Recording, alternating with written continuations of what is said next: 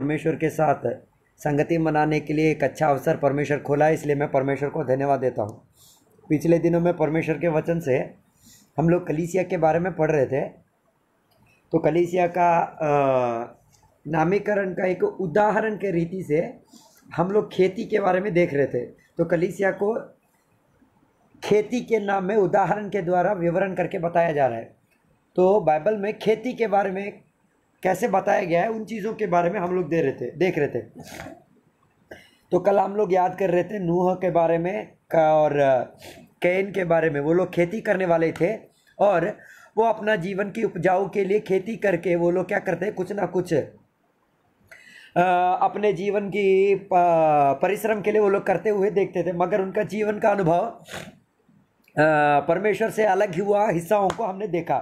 आज भी देखेंगे खेती के खेतियों के बारे में क्या कहा जाता है बाइबल में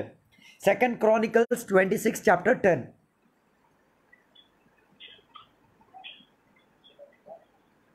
second chronicles chapter twenty verse ten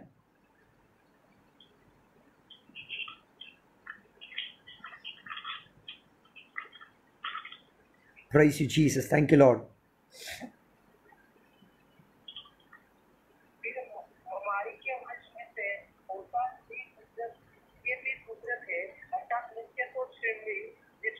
दस second chronicles chapter twenty six verse ten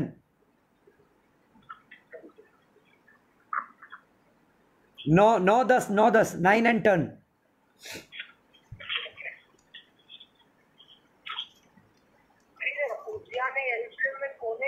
yes हाँ, हाँ।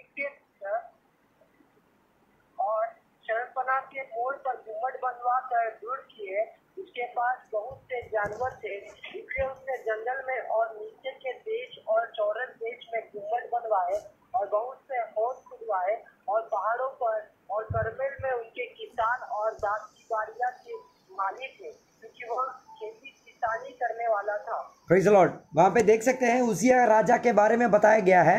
उजिया राजा राजा बनने के बाद नहीं तो उजिया राजा को जीवन में राजा बनकर वो उन्नति पाने के बाद उसके जीवन में वो कर किया हुआ कुछ कामों के बारे में बताया गया है उसकी नवे वचन में देख सकते हैं उजिया राजा क्या किए यरूशलेम के निकट उसने क्या किया बहुत ऊंची ऊंची दीवाले बनाई दीवाले बनाने के बाद उसने क्या किया ऊंची टावर्स बनाए टावर्स बनाने के बाद उसने क्या किया मरुभूमि के प्रदेशों में उसने क्या किया कुआं खोदा कुआं खोदने के बाद उसने क्या किया अनेक जीव जंतुओं को रखा जीव जंतुओं को रखना ही का उतना ही नहीं किया उसके बाद वो क्या करना खेती बाड़ी करना भी शुरू किया लिखा है देखो कहाँ पे इसने ये किया है उसके दसवीं वचन में क्या है ये कहाँ पे किया है उसके दसवां वचन एक और बार पढ़ते हैं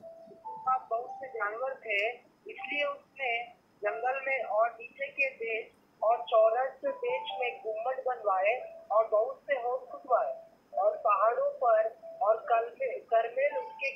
करमेल के उसके किसान और दास की बारियों के मालिक देखो ये कहाँ पे ये बनाया जंगल में ऐसा लिखा है ना हाँ। पहाड़ों पर उसने पहाड़ों पर जंगलों में है ना जंगलों में उसने बहुत से गुम्बद बनवाए और और जंगल में और सौरभ बीच में गुम्बट बनवाए देखा ना देखिए देखा ना जो चीज़ मनुष्य जो जगह को मनुष्य क्या करने कर रहे मैंने पसंद नहीं करते उन जगहों को क्या किया उजिया राजा ने हासिल किया जंगल किसी को नहीं चाहिए हेलो मेरे साथ में हो जंगल में कोई जाके कभी भी वो जगह को निवास योग्य नहीं बनाता और पहाड़ों को पहाड़ों के बीचली एरिया में कोई वो ऐसा एरिया नहीं लेता मगर उजिया राजा ने क्या किया ऐसी जगहों को चुनकर उसने क्या किया जो जो चीज़ शहरों में हो सकती है उसी चीज़ को उसने क्या किया जंगली हिस्साओं में पत्थरी वाली जगहों में नहीं तो पहाड़ी वालों हिस्साओं में उसने क्या किया उपजाना शुरू किया उगवाना शुरू किया वो है उसका परिश्रम हेलो ऐसी जगह जो कोई कोई भी जाने के लिए पसंद नहीं करता ऐसी जगह जो किसी को भी ज़रूरत नहीं है वैसी जगह को उसी ने क्या किया पसंद किया चुन लिया और वो क्या किया आ, वो क्या करने लगा इसराइलियों के उन्नति के लिए नहीं तो इसराइलियों के समृद्धि के लिए नहीं तो इसराइलियों की ज़रूरत के लिए वो क्या करने लगा काम में लगने लगा इसीलिए उसिया का नाम का अर्थ क्या है परमेश्वर मेरा शक्ति हेलो अगर परमेश्वर उसका हमारा शक्ति है जो जगह मनुष्य को जरूरी है ही नहीं उन जगहों में जाकर कुछ ना कुछ फल पूर्णता हम ला सकते हैं इसलिए वो क्या करना शुरू किया उसकी ट्वेंटी सिक्स की द, नौ दस में हम लोग देख सकते हैं उसने टावर बनाया हेलो टावर कई के लिए मेरे साथ में हो टावर कई के लिए हेलो टावर टावर की मतलब क्या ऊंची इमारत नहीं तो थोड़ी ऊंची जगह तो जा जो कि देख सके कि उसकी खेतीबाड़ी नहीं तो उसकी चीज़ों की संरक्षणा के लिए नहीं तो उसकी चीज़ों की सिक्योरिटी के लिए वो क्या किया एक टावर को सेटअप किया हेलो ही एस्टैब्लिश द टावर मेरे साथ में हो अगर टावर नहीं है तो आज का टेलीफोन सिस्टम काम नहीं करेगा उन जमानों में टावर की ज़रूरत क्या थी उन जमानों में टावर की ज़रूरत क्यों थी इसके लिए कि ताकि खेती बाड़ी को लोग न क्या करते थे चुरा के ले जाते थे उठा के ले जाते थे और नहीं तो क्या चा खेत और पशु पक्षियों को क्या करते थे उठा के ले जाते थे इसीलिए उसने क्या किया वो कुछ बनाने से पहले सिक्योरिटी सिस्टम को वो बिल्डअप किया खेतीबाड़ी करना बहुत अच्छी बात है मगर खेतीबाड़ी करने से पहले सिक्योरिटी सिस्टम बेस्ट रहना चाहिए हेलो इसलिए आज हमारे जीवन में हमें भी सोचना चाहिए हम कलीसिया के योग सौभाग्य में आए हैं कलीसिया को खेती के नाम के प्रयोग किया गया है उसका अर्थ कलीसिया को क्या करना चाहिए परमेश्वर की सिक्योरिटी के सिस्टम के अंदर उसको सिक्योर करके रखना जरूरी है अनिवार्य है नहीं तो क्या हो सकता है शैतान उसके अंदर घुस आ सकता है नहीं तो अन्य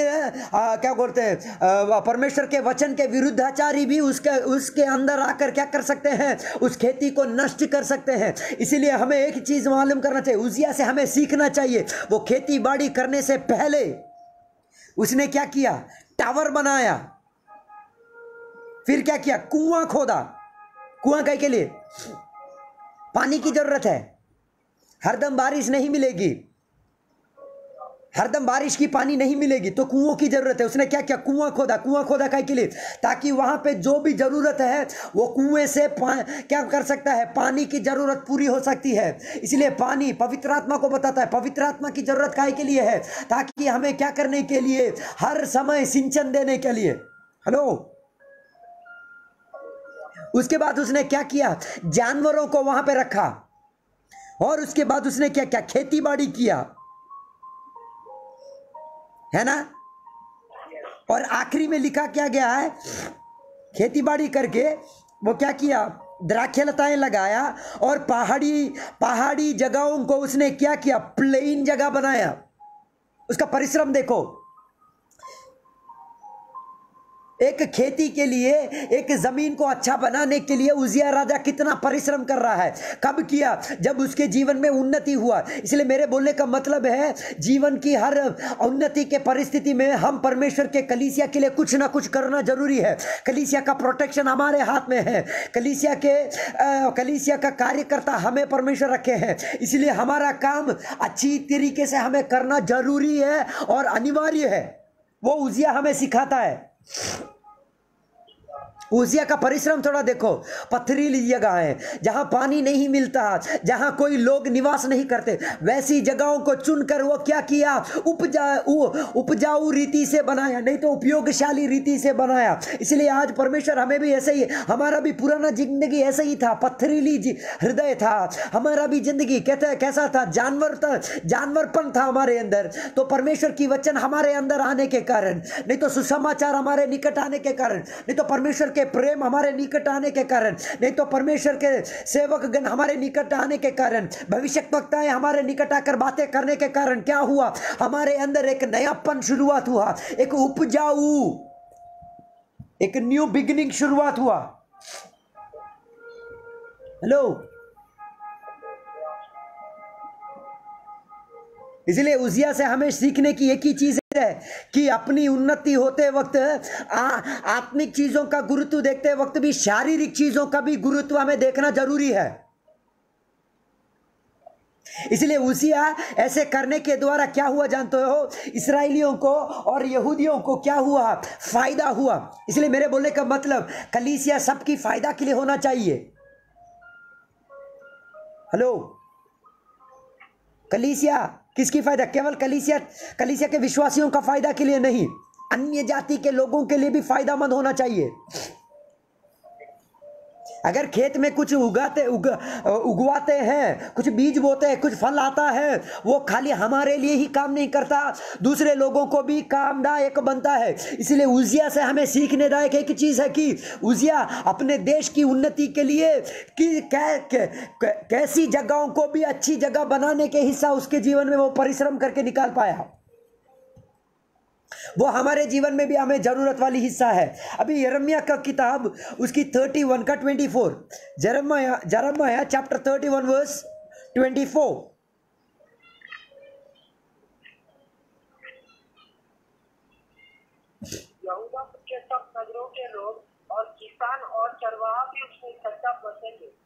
देखा कहाँ के लोग, के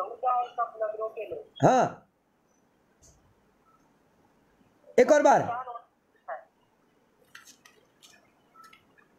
एक और बार पढ़ते हैं और उसके के लोग और और चरवाहे भी उसमें बसेंगे देखा ना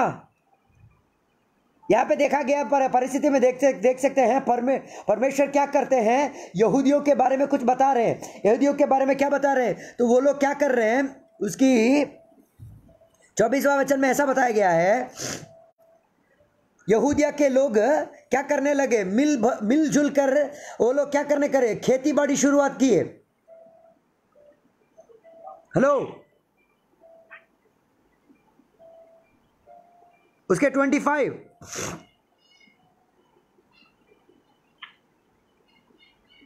वह उस वाचा के समान ना होगी जो मैंने उनके पुरखाओं से समय बाकी थी जब उसका हाथ पकड़ कर उन्हें नीचे देश में निकाल लाया क्योंकि यद्यपि मैं उसका पिता था तो भी उन्हें देखो ना वहाँ पे उनकी शांति की माहौल देखो उनकी मिलाव की में ए, एकता एकता का ये है एकता की एक सौभाग्यता वहाँ देख सकते हैं वो लोग दूसरे वो लोग दूसरे देशों में भी वो लोग यहूदिया में वो लोग क्या करते थे निवास करते वक्त भी मिलजुल कर शांति के द्वारा अपने काम पे मकसदी बनकर काम करते थे वो लोग वहाँ पे क्या काम करते थे खेती बाड़ी और पशुओं को देखना हेलो इसीलिए यहां पे हम लोग देख सकते हैं वो खेतीबाड़ी करने का उद्देश्य क्या है ताकि उनके जीवन के उपजाऊ के लिए नहीं तो जीवन की उन्नति के लिए वो अपने काम कभी नहीं छोड़ते हेलो हमें अपने जीवन की उपजाऊ के लिए काम करना चाहिए उसके साथ परमेश्वर की कलीसिया का भी क्या करना चाहिए खेती बाड़ी करना चाहिए परमेश्वर के कलीसिया के अंदर भी शांति की माहौल मिलावट की माहौल एकता की माहौल हेलो मेरे साथ में हो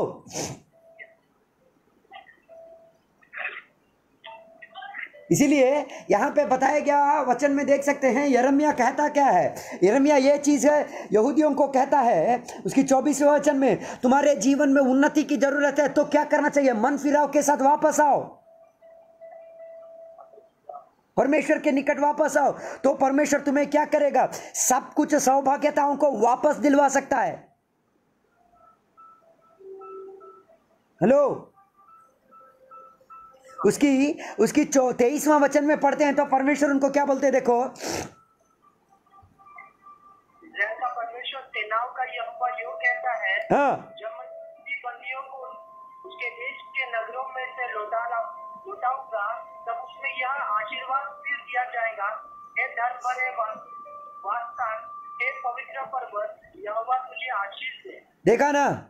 वापस परमेश्वर के निकट आने के लिए और परमेश्वर के निकट से क्या सौभाग्यता को अनुभव करने के लिए परमेश्वर क्या कर रहे हैं इसराइलियों का परमेश्वर बोल रहे हैं हेलो इसीलिए हमारे जीवन में मिला मिल यूनिटी के लिए मिलकर रहने के लिए शांति की माहौल बरतवाने के लिए हमें परमेश्वर के साथ रिश्ता जोड़ना जरूरी है जो व्यक्ति परमेश्वर के साथ रिश्ता जोड़ता है हर काम में वो फलदायक बनेगा वही चीज़ यहां पे बताया गया है यहूदा के लोग अन्य जाति के लोगों के साथ वो लोग क्या कर रहे थे मिलनता के साथ खेती बाड़ी करके उन्नति करके आत्मिक चीज़ों का भी वो लोग गुरुत्व लेते थे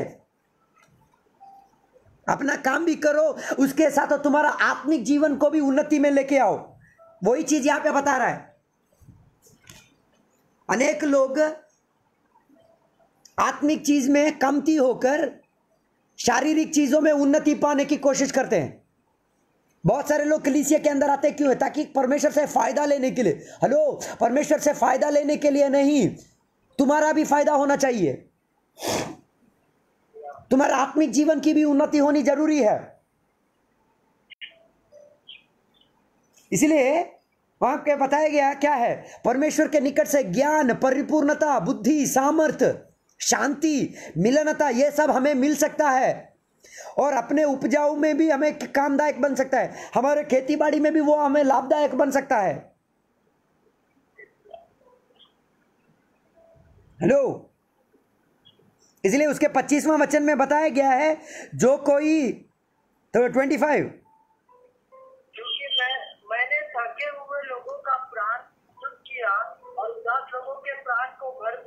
देखा ना उदास लोगों का प्राण को क्या कर दिया है भर दिया है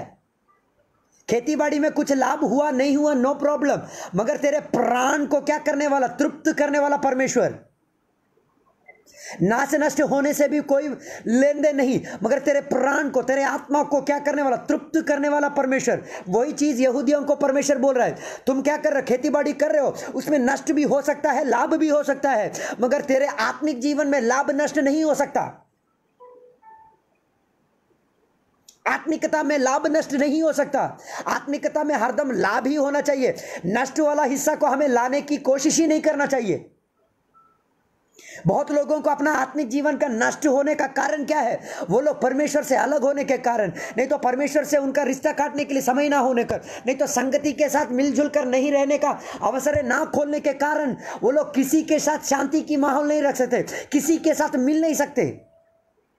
इसीलिए यहां पे बताया गया है यहूदा यहूदा के नाम के अर्थ क्या है स्तुति करने वाला परमेश्वर की महिमा करने वाला परमेश्वर की घोषणा करने वाला परमेश्वर के नाम की ऊंचा करने वाला उनके जीवन में शांति और मिलनता को परमेश्वर देने का कारण क्या है वो लोग परमेश्वर के साथ रिश्ता जोड़कर रुकने के कारण इसीलिए उनके हर काम काजों में भी वो लोग आशीष पाए और उनके आत्मिक जीवन में भी वो लोग आशीषमन बन के आए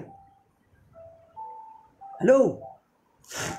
अभी उसी यरेमिया का किताब उसके 51 का 23 अगर पढ़ते हैं तो उधर देख सकते हैं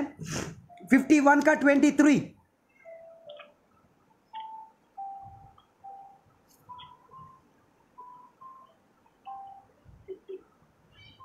हाँ 51 का 23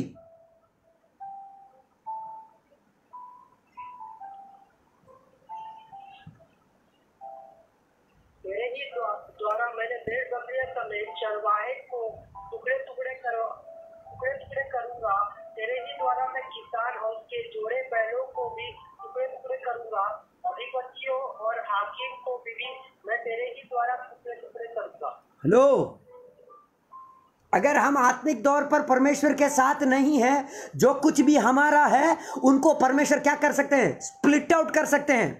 छितर बितर कर सकते हैं वही लिखा है ना स्मैश कर सकते हैं हेलो शैटर स्मैश क्या क्या तेरे उपजाऊ तेरे भेड़ बकरी तेरे गवर्नेंस तेरे कमांडर्स सबको मैं चित्तर बितर कर दूंगा हेलो मेरे साथ में हो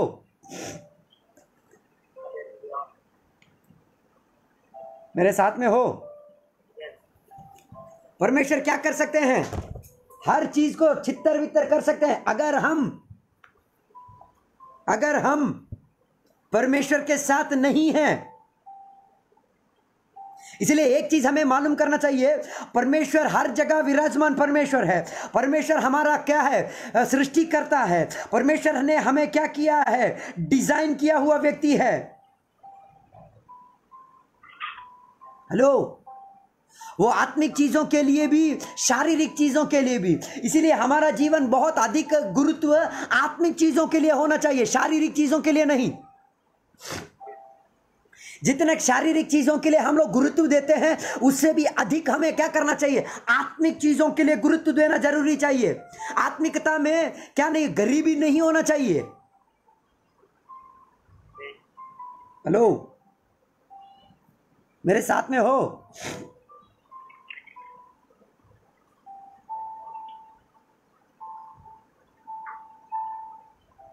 इसीलिए परमेश्वर ने क्या किया इसराइलियों को और यहूदा के लोगों को क्या किया परमेश्वर की कृपा देकर उनको बचाया उनको उधारी दिया मगर वो अपने जीवन में सटीक से जीवन ना करने जीवन यापन ना करने पर नहीं तो आत्मिकता में ना रुकने के कारण परमेश्वर उनको क्या कर दिए बहुत परिस्थितियों में चित्तर वितर कर दिए उनके विरुद्ध बहुत सारे युद्ध हुआ उनके उनके विरुद्ध क्या किए बहुत सारे राजा लोग खड़े हो गए आया ना इसीलिए यहां बताया गया वचन में 51 का 51 के अध्याय में हम लोग देख सकते हैं बबिलोन के बारे में बताया गया है देखो उसका पहला वचन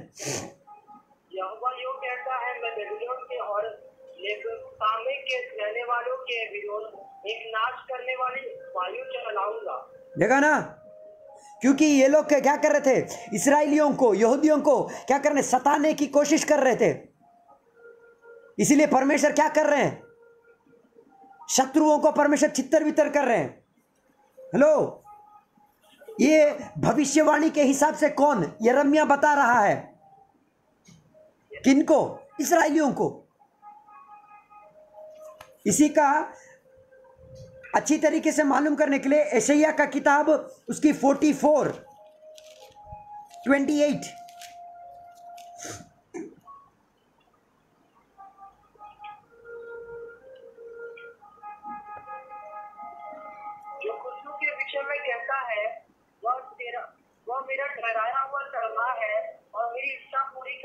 हाँ कहता, है वह बताई जाएंगी और मंदिर के विषय डाली देखा ना इसराइलियों को छुटकारी छुटकारा दिलवाने के लिए विजाती एक राजा कौन उसका नाम क्या है साइरस हेलो क्यों उठाए क्योंकि लोग परमेश्वर के निकट आत्मिकता का अन्वेषण करना शुरू किए इसलिए वहां पे उसका 28 में क्या बताया गया है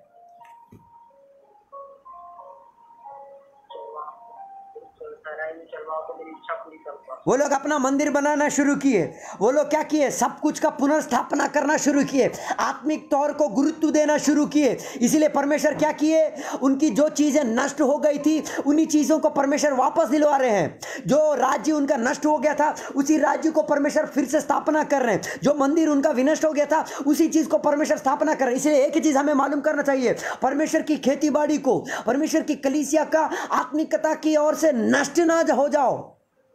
अगर नष्ट हो गए हो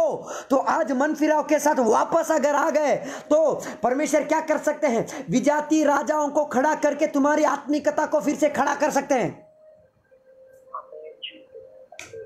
लो आराधना को फिर से वापस परमेश्वर दे सकते हैं हमारी मंदिर को परमेश्वर फिर से स्थापना कर सकते हैं हमारी फाउंडेशन को फिर से परमेश्वर क्या कर सकते हैं मजबूत बना सकते हैं इसीलिए 45 का एक में क्या बताया देखो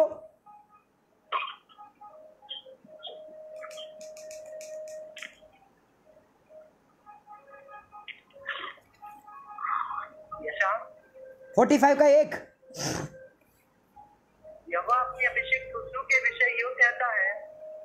हाँ मैं उस, उसके दाहिने हाथ को इसलिए थाम लिया है कि उसके सामने जातियों को दबा दूं और राजाओं की कमर ढीली कर हेलो किसको साइरस नामक राजा जो एक विजाति राज्य राजा है उसको परमेश्वर क्या किए अभिषेक किए और उसके हाथ को परमेश्वर क्या किए पकड़ के रखें ताकि अन्य देश के राजाओं को क्या कर सके अन्य देश के लोगों को क्या कर सके कुचल सके है ना और दरवाजाओं को खोल सके जो कि बंद पड़ी थी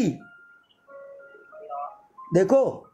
परमेश्वर कैसे रास्ताएं खोल रहे हैं जब इसीलिए मेरे बोलने का मतलब कलीसिया के अंदर हम लोग खेती बाड़ी शुरू करके आत्मिक रीति से चलकर परमेश्वर के वचन के ऊपर आश्रय करके प्रार्थना का जीवन काट के आत्मिक उन्नति में अगर आने की कोशिश करेंगे परमेश्वर हमारे लिए का क्या करेंगे शत्रुओं को भी परमेश्वर चित्तर वितर कर सकते हैं इसलिए यहाँ पे जो साइरस नामक राजा है वो एक अन्य जाति के राजा है विदेशी राजा है उसको परमेश्वर क्या किए एक मकसद के लिए इसराइलियों के उद्धारी के लिए आ, क्या किया अनॉइंट किया अभिषेक किया हेलो मेरे साथ में हो इसीलिए यरमिया का किताब 51 के 23 में क्या बताया गया जो बबिलोन को परमेश्वर क्या करेंगे तितर बितर करवाएंगे तितर बितर किया हुआ वो करने के लिए परमेश्वर क्या किए साइरस को परमेश्वर यूज किए उसके कारण क्या हुआ इसराइलियों का जो भी जो भी आत्मिक जो भी शारीरिक रीति की चीजें थी उन सब कुछ की क्या होने लगी बढ़ोतरी पाने की उन्नति होने की अनुभव हुई उसी के साथ साथ आत्मिक जीवन भी उन्नति होना शुरू हुआ हेलो इसलिए मेरे बोलने का मतलब यह है हम परमेश्वर के कलिसिया के अंदर है कलिसिया के अंदर होने के कारण हमारे आत्मिक जीवन को हमें उन्नति में लाना जरूरी है जितना अधिक हम आत्मिक रीति से उन्नति पा रहे हैं उसको कभी भी कम होने के लिए नहीं देना चाहिए वो है उदाहरण अभी आमोस के किताब पांचवा अध्याय उसका सोलह सतवा सत्रहवा वचन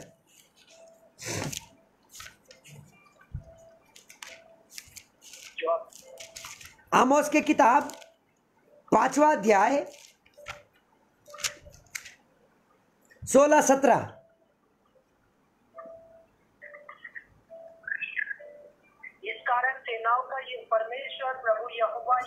है सब चौकों में रोना पीटना होगा हाँ। सब में लोग सब सड़कों में लोग हाय हाय करेंगे हाँ। किसान को शोक करने के लिए और जो लोग विलाप करने में निपुण है उन्हें रोने पीटने को बुलवाएंगे हेलो हो मेरे साथ कौन बोल रहा है ये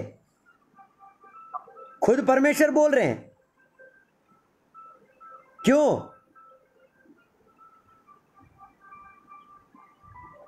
क्योंकि इसराइलियों को परमेश्वर क्या किए शत्रुओं के राह शत्रुओं के हाथ में पेश करने वक्त वो लोग परमेश्वर को ढूंढना शुरू किए रोना शुरू किए इसलिए वहां पे बताया गया देखो वो लोग परमेश्वर क्या कह रहे हैं कहां कहां वो लोग रो रहे होंगे सड़कों पे फिर हैं सड़कों में खेतों में सत्रहवा वचन में देखो हाँ क्योंकि जो कहता मैं तुम्हारे बीच में से होकर जाऊंगा मैं तुम्हारे बीच में से होकर जाऊंगा हेलो परमेश्वर की उग्रता वो इसराइलियों के ऊपर आने के कारण वो लोग क्या करना शुरू किए परमेश्वर के अन्वेषण करना शुरू किए परमेश्वर के निकट रोना शुरू किए परमेश्वर के निकट दुखित होना शुरू किए उस उसके कारण क्या हुआ परमेश्वर उनके निकट पास्ट करना शुरू किए यहां पे आमोस क्या कर रहा है भविष्यवाणी के हिसाब से बता रहा है परमेश्वर के आत्मा के द्वारा हेलो आज कलिसिया के अंदर हमें कौन चाहिए रोने वाले लोग चाहिए हेलो किसके लिए रोने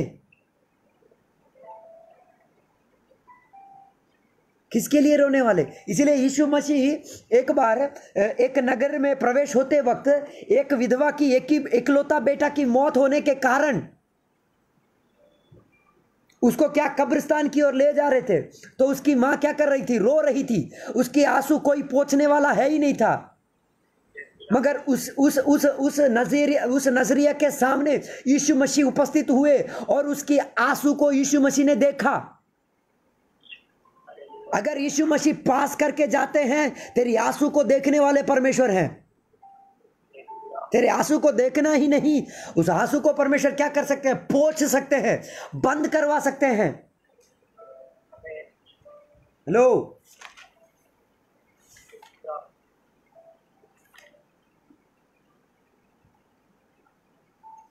इसीलिए यहां बताया गया वचन में देख सकते हैं इसराइली लोग परमेश्वर के विरुद्ध होने के कारण अभी क्या कर रहे हैं परमेश्वर को ढूंढ रहे हैं परमेश्वर के निकट रो रहे हैं आंसू कब आएगा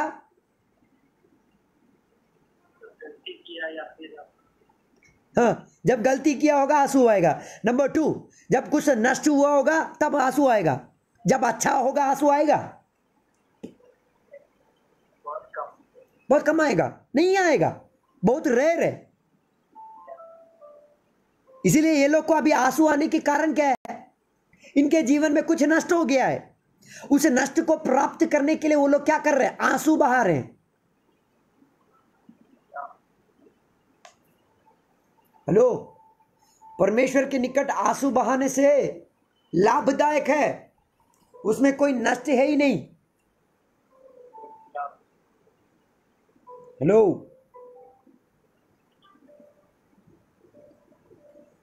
आंसू बहाते वक्त बातें कम आती है हाँ या ना लो इसीलिए यीशु मसीह की कृषार्पण के समय यीशु मसीह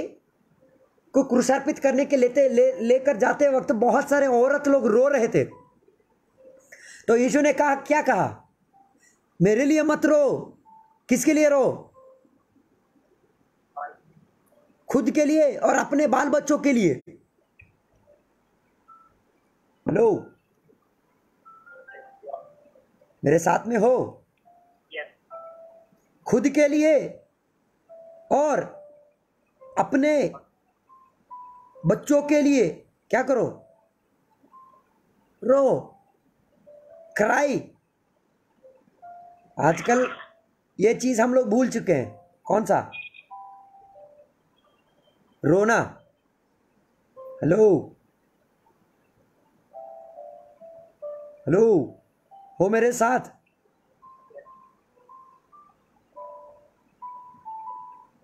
मेरे साथ में हो yes. हमारा आंसू क्या कर दिए हम लोग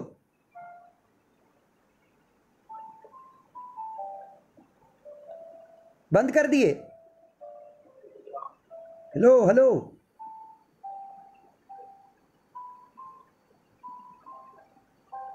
मेरे साथ में हो प्रेज जीसस इसीलिए यहां पे लोग क्या कर रहे हैं आंसू के द्वारा लो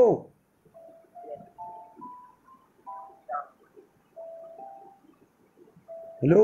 आंसू के द्वारा वो लोग क्या करना शुरू किए परमेश्वर की अन्वेषण करना शुरू किए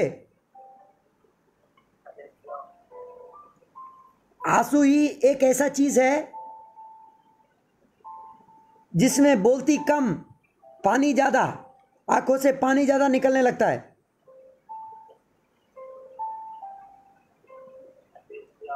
हेलो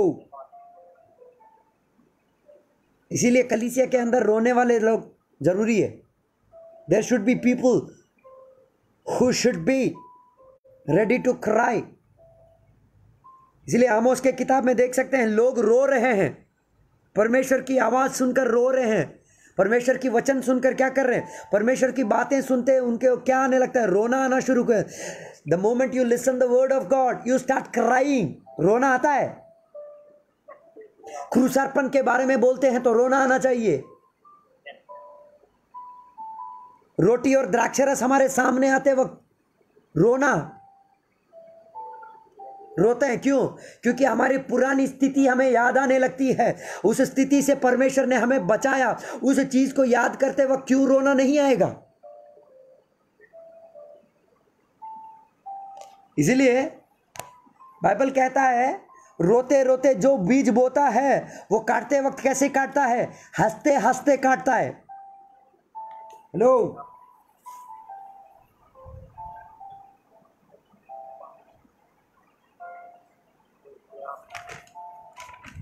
इसीलिए हमारे दुखी परिस्थिति में हमारे जीवन में मन परिवर्तन मन परिवर्तन के स्थिति में आंखों से क्या गिरना चाहिए पानी गिरना चाहिए पानी से क्या करना चाहिए सिंचन इसीलिए दाऊद कहता है मैं अपने खटिए को मैं अपने तकिए को क्या करता हूँ आंसू से डुबो देता हूं क्यों दाऊद राजा बनना बड़ी बात नहीं है दाऊद राजा बनने से पहले जब जंगल में था तब उसकी स्थिति कैसी थी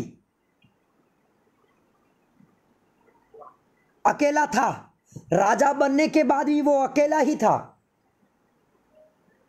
आया ना इसीलिए वो अपने खटिए पे रोता था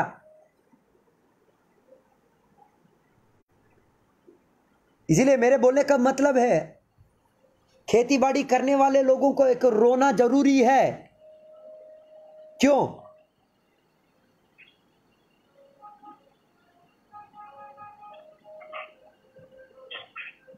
आंसू जब तक नहीं गिरती क्या नहीं होती अच्छा फल पैदा नहीं होता इसलिए यहां देख सकते हैं आमोस की किताब में लोग रो रहे हैं क्यों परमेश्वर की आवाज सुनकर आज कितने लोग हैं कलीसिया में वचन सुनकर रोने वाले आल्टर कॉल के समय रोएंगे वचन बोलते वक्त एक बूंद आंसू नहीं गिरेगा अगर घर के कोई सदस्य का मौत हो गया तो वाह क्या रोता है रोना ही रोना किसको दिखाने के लिए मालूम नहीं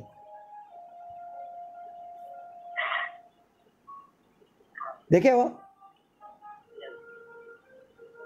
किसी की मौत हो गई तो रोने का ऊपर रोना अरे तेरे को परमेश्वर के निकट आते वक्त परमेश्वर की वचन की घोषणा होते वक्त नहीं तो परमेश्वर की आवाज तेरे कानों में गुंजगुंजावट होते वक्त तेरी परिस्थिति को याद दिलवाते वक्त रोना आता है क्या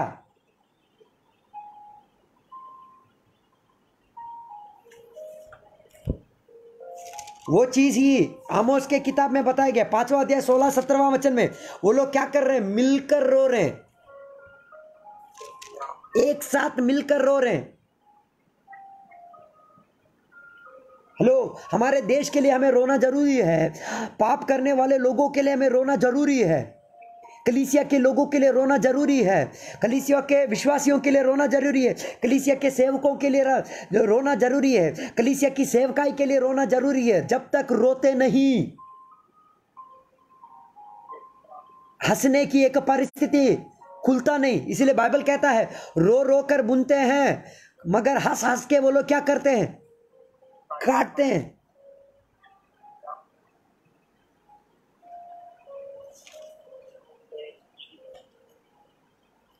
अभी देखो योवेल के किताब में देखो एक वचन लिखा है योवेल के किताब पहला अध्याय उसका दसवां वचन में सोच रहा हूँ योवेल के किताब पहली अध्याय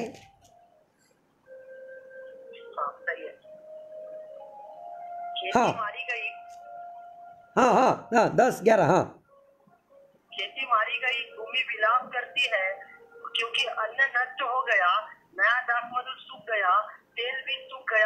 हाँ। हाँ। हाँ। देखो ना जब सब नष्ट हो गया सब रोना सब रोना धोना आत्मिक चीज में कुछ नष्ट होने से पहले रोते नहीं खेती बाड़ी नष्ट होने से रोने के ऊपर रोना और देखो उसका बारवा वचन हाँ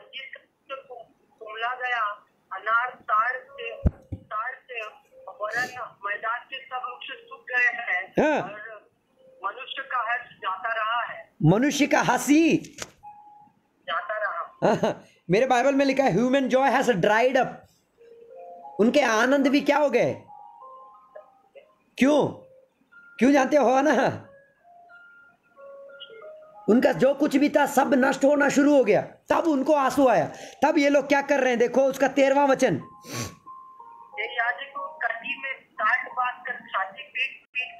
हाँ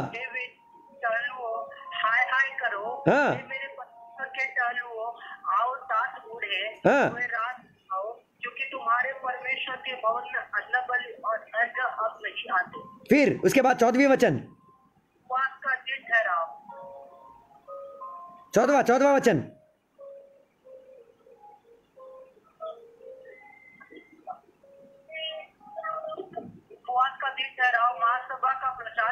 हाँ वरन देश के सब रहने वालों को भी अपने परमेश्वर यहोवा के भवन में इकट्ठा कर, करके उनकी दोहाई दो हेलो जब सब नष्ट हो गया सब तब सब लोग क्या करते इकट्ठा होते हैं रोना धोना सब कुछ अरे जब कलिसिया के अंदर है क्यों वो रोना धोना नहीं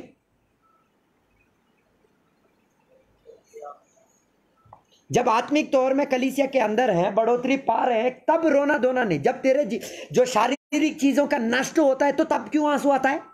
वो एक्टिंग है ना पक्का एक्टिंग है ना हेलो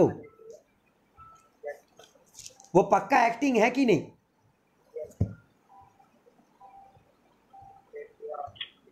हेलो परमेश्वर के निकट एक्टिंग काम नहीं करता बहुत सारे लोग खेतीबाड़ी करते हैं बहुत सारे लोग परमेश्वर के निकट हैं कलिसिया के अंदर मगर एक्टिंग क्रिश्चियंस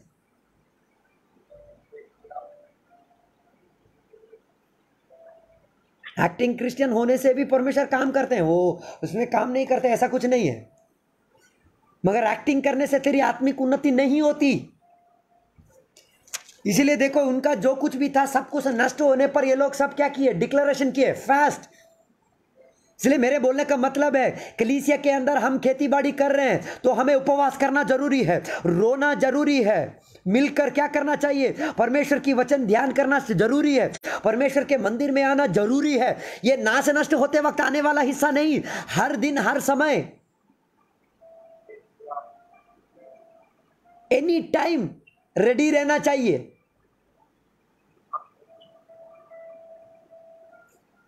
आया हाँ ना बहुत सारे लोगों को मैंने देखा है बच्चों का टेंथ क्लास का एग्जाम होगा तो फुल फास्टिंग बच्चा रो रोगी बन गया फुल फास्टिंग अरे बच्चा आत्मिक रीति से बढ़ रहा है क्या और बच्चा बपतिस्मा पाने के लिए तैयार नहीं हुआ है क्या बच्चा मन फिराव के साथ परमेश्वर के निकट नहीं आया क्या बच्चा कलीसिया नहीं आ रहा है उसके लिए कितने लोग रोने वाले हैं कभी सुने हो कोई भी विश्वासी बोलने के लिए ऐसा बोलकर उपवास करना कर रहा हो कि मेरा बच्चा परमेश्वर के निकट आया नहीं है मैं इसीलिए उपवास हूँ आप लोग भी मेरे लिए उपवास के साथ प्रार्थना कीजिए बोलकर कोई बोलता है कोई नहीं मेरा पति आया नहीं है इसलिए प्रार्थना कीजिए मेरा बेटा आया नहीं और तेरा काम क्या है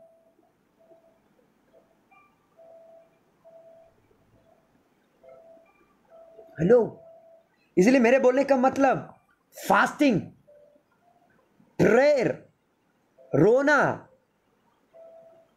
परमेश्वर की सेवकाई करने वाले परमेश्वर की कलीसिया के सदस्य परमेश्वर के खेत में काम करने वाले उनको वो एक अभ्यास होना चाहिए it should be a custom अभ्यास अभ्यास मतलब समझते हो रेगुलर वाला हिस्सा है उस हिस्से को कोई बोलने की जरूरत नहीं है उस चीज को योयल बता रहा है तुम्हारा जीवन में नाश नष्ट आते वक्त सब एक्टिंग निकाल देते हो नो परमेश्वर के निकट एक्टिंग काम नहीं करता परमेश्वर असलियत चाहने वाले हैं इसलिए मेरे बोलने का मतलब कलीसिया को खेतीबाड़ी कहते हैं खेतीबाड़ी में करने वाले परमेश्वर की कर, कलीसिया में खेतीबाड़ी करने वाले लोग खेती में योग्यदान पाए हुए लोगों को क्या करना चाहिए any time declaration of fast उनके जीवन में उपवास एक अनुभव होना चाहिए कलीसिया का मिलाव प्रोक्लेमेशन ऑफ एन असेंबली कलीसिया को क्या करना चाहिए महीने में एक बार मिल सब नौकरी वोकरी छोड़कर तीन दिन आके बैठना है जरूरी है महीने में तीन दिन साल में तीन दिन नहीं तो मंथली वंस असेंबली वन कराना जरूरी है और मिलकर क्या करना चाहिए प्रार्थना उपवास रोना धोना और परमेश्वर के निकट विलाप करना इसलिए मेरे बोलने का मतलब कलीसिया के अंदर यह चाहिए उसके तेरहवें वचन तेरवा वचन में बताया गया गया याजक को क्या पहने हेलो सैक्लोथ सैक्लोथ मतलब जो बोरी बोरी बोरी कहते हैं ना सैक चावल जिसमें रखते हैं उसको बोरी बोलते हैं ना वो पे अरे याजक का वस्त्र कैसा वस्त्र परमेश्वर बताए जानते हो ना वो वस्त्र का खरीदारी कम से कम चार करोड़ रुपया है चार करोड़ से दस करोड़ तक है वो वस्त्र का कीमत वो निकाल कर वो निकाल कर सैक क्लॉथ पहन सकते हैं क्या हेलो हेलो पहनेंगे क्या जवाब मुझे चाहिए नहीं, नहीं पहनेंगे क्योंकि सैक क्लोथ क्या है बोरी बोरी बोरी जो चीज है वो घर में कहां पे रखते हैं साफ सुथरा जगह में रखते हैं कहाँ की फेंक देते हैं वो बोरी के अंदर क्या होते हैं कीड़ों मकोड़े गंदगी पानी की नमी सब कुछ रहता है अगर एक व्यक्ति बोरी पहन लेता तो क्या होने लगता है हाँ गंदगी तो होगा होगा दुर्गंध फिर इचिंग होगा इचिंग खुजली खुजली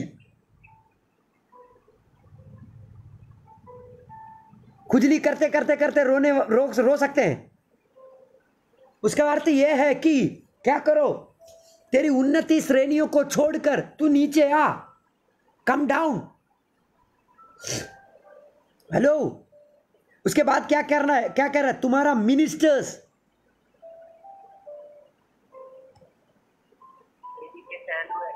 हेलो कब दिन रा, रातों में क्या पहनो सैकलॉथ हेलो नहीं जब नष्ट होगा फॉर एग्जाम्पल बिजनेस है बिजनेस डूब गया तो कोई किसी को भी बोलने वाला जरूरत नहीं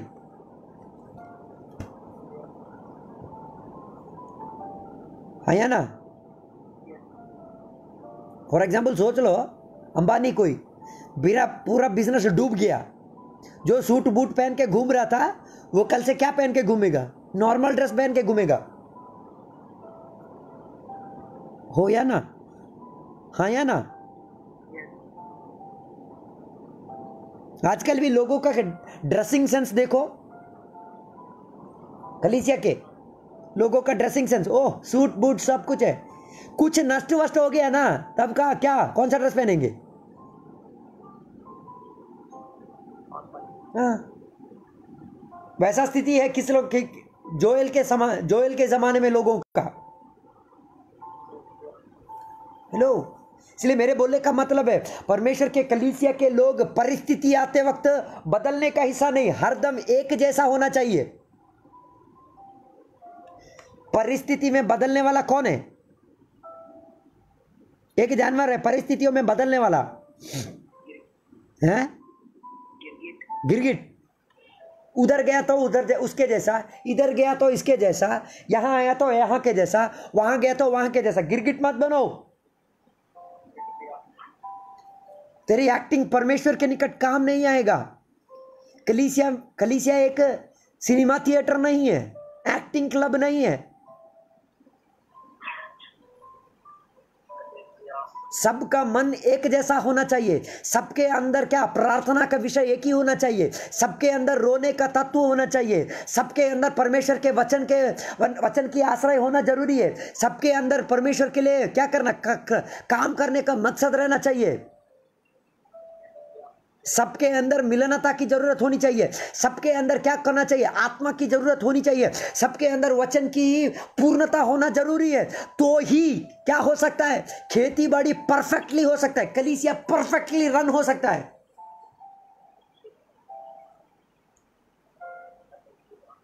अब माथिली के सुसमाचार इक्कीसवां अध्याय को आते हैं वहां पर देख सकते हैं एक खेती बाड़ी करने वाला व्यक्ति के बारे में बताया गया इक्कीसवां अध्याय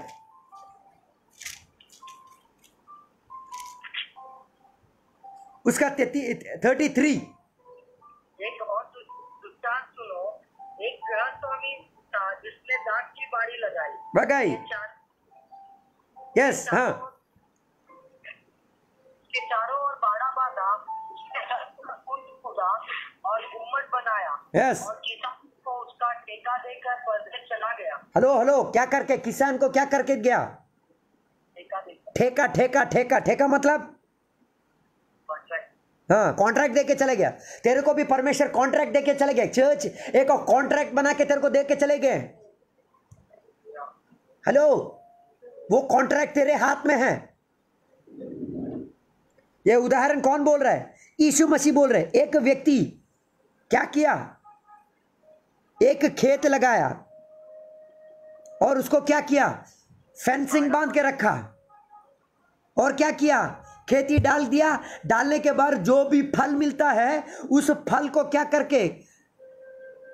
पीस पीस पीस कर निकालने के लिए वाइन प्रेस भी बनाया और क्या किया वाच टावर भी बनाया उसके बाद किसके हाथ में दे दिया हेलो हेलो हेलो मेरे साथ में हो सब कुछ बनाने के बाद ही कॉन्ट्रैक्टर के हाथ में दे दिया गया अब ये कॉन्ट्रैक्टर क्या किया जब फल का समय निकल आया हाँ तो उसने अपने दासों को उसका फल लेने के लिए किसानों के पास भेजा भेजा और किसानों ने उनके दासों को पकड़ के दासों को पकड़ के दासों को पकड़ के हाँ प्रेज लॉर्ड प्रेज लॉर्ड यहाँ पे प्रेज लॉर्ड बोलना है फल के समय आते वक्त मालिक ने क्या किया लोग भेजा क्या किया हाँ वही आज कलिसिया के अंदर होता है कॉन्ट्रैक्ट लेने वाले लोग क्या कर रहे हैं बोले नहीं फल के समय क्या कर रहे हैं कॉन्ट्रैक्टर के हाथ से फल लेने के लिए मालिक ने लोगों को भेजा तो मालिक मालिक के लोगों को क्या किया कॉन्ट्रैक्टर ने हाँ प्रेज लॉर्ड यहां पे बोलना है खेती किसका है मालिक का है वहां पे मालिक कौन है परमेश्वर है ईशु मसीह है यीशु मसीह इस धरती पर उतर क्यों आए ताकि हमें क्या देने के लिए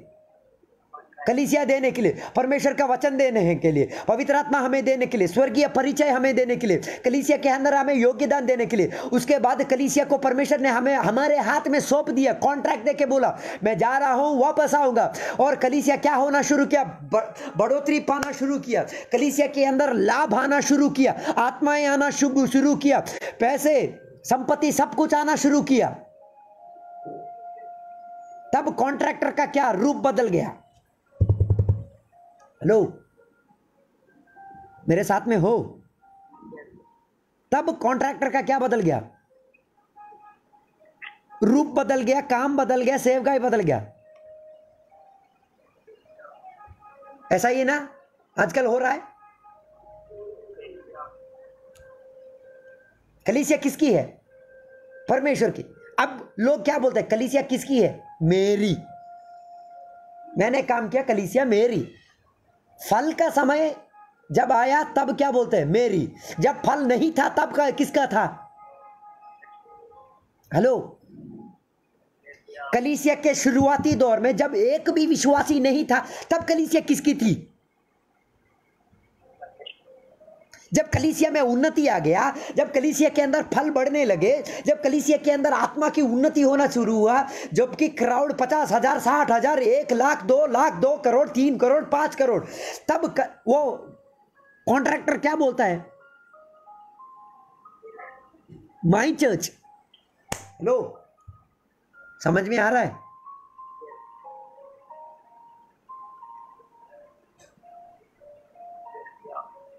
यह है परिवर्तन लोगों के अंदर का परिवर्तन ऐसा है इसीलिए परमेश्वर बोल रहे हैं क्या कलीसिया किसकी है परमेश्वर की है फल किसके हैं परमेश्वर की है हमें परमेश्वर कॉन्ट्रैक्ट देके गए हैं पवित्र आत्मा हमें देकर गए हैं वचन हमें देके गए हैं कलीसिया की बढ़ोतरी करने वाला व्यक्ति परमेश्वर खुद है कलीसिया के अंदर आत्माओं को लाने वाला व्यक्ति परमेश्वर खुद है हमारा काम क्या है we are just contractor contractor का क्या काम क्या है समय के हिसाब से जितना समय दिया गया है उतने समय के अंदर अपना कॉन्ट्रैक्ट को फुल्ली परमेश्वर के सामने ओपन कर सकता है आज के कॉन्ट्रैक्टर ब्रिज बनाते हैं कितना दिन टिकता है किसी को मालूम नहीं आजकल के कॉन्ट्रैक्टर रोड्स बनाते हैं कितना दिन टिकता है किसी को मालूम नहीं आजकल के कॉन्ट्रैक्टर घर बनाते हैं कितना दिन रुकता पता नहीं आजकल के कॉन्ट्रैक्टर के हाथ में कलीसिया दिया गया कितना दिन रुकेगा वो भी मालूम नहीं अगर कलीसिया परमेश्वर का है परमेश्वर ने कॉन्ट्रैक्ट हमें दिया है उस कॉन्ट्रैक्ट को हमें क्या करना चाहिए अच्छी तरीके से फल पूर्ण करके हासिल किसको दे देना चाहिए परमेश्वर के हाथ में देना चाहिए कॉन्ट्रैक्ट का मालिक परमेश्वर है कॉन्ट्रैक्ट के योग्यदान परमेश्वर है कॉन्ट्रैक्ट परमेश्वर ने हमें दिया है उस कॉन्ट्रैक्ट को हमें क्या करना चाहिए अच्छी तरीके से क्या करना चाहिए उसकी हाँ, क्या करना चाहिए सफलीकृत करके उसको आगे की ओर लेके आना चाहिए फल पूर्ण अवस्था में लेके आना चाहिए इसीलिए एक परमेश्वर की परमेश्वर के दास को जिनकी कलिसिया में विश्वासी कम से कम चार लाख पाँच लाख विश्वासी है उस पास्टर साहब से परमेश्वर के आत्मा ने बात किया कि बोला कि तेरी कलिसिया में पांच से अधिक विश्वासी कभी स्वर्ग नहीं जाएंगे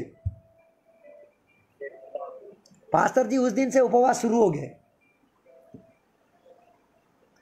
और परमेश्वर के निकट एक कॉन्ट्रैक्ट रखा बोला परमेश्वर जैसे तू बोलेगा वैसा मैं कलीसिया को चलाऊंगा तेरी आत्मा की शक्ति को मैं क्या करूंगा बसीबूत हूँगा तेरी आत्मा जो बोलती है उसके हिसाब से मैं कलीसिया को चलवाऊंगा मुझे माफ़ कीजिए परमेश्वर बल्कि वो परमेश्वर के निकट गिड़गिड़ाया और परमेश्वर ने उसकी सेवकाई का क्या किया परिश्रम को परमेश्वर बदल दिए इसलिए आज सुबह के समय परमेश्वर की कलीसिया एक खेत है उस खेत का कॉन्ट्रैक्ट परमेश्वर तुझे और मुझे दिए हैं उस खेत में हमें क्या करना चाहिए चाहिए प्लांटेशन को उगवाना का जरूरत है प्लांटेशन को क्या करना चाहिए पानी देने की जरूरत है उस प्लांटेशन को क्या करना चाहिए हमारे आंसू देना जरूरी हमारा प्रार्थना जरूरी है हमारा उपवास जरूरी है हमारी मिलनता जरूरी है हमारी सौभाग्यता जरूरी है हमारी मुंह से निकली हुए वचने जरूरी है हमारे काम काजें उस कलिसिया के अंदर जरूरी है